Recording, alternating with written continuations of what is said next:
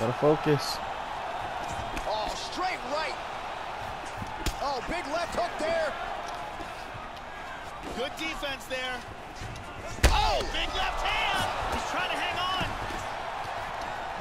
And another one. He's in trouble. What the hell? Oh, Yes, sir! Wow! tremendous hook. Landed flush for the hmm. victory. Yeah, Joe, Look a at that. near perfect Good strike job, to end the fight Bob and end the night for his opponent, Good who candidly job.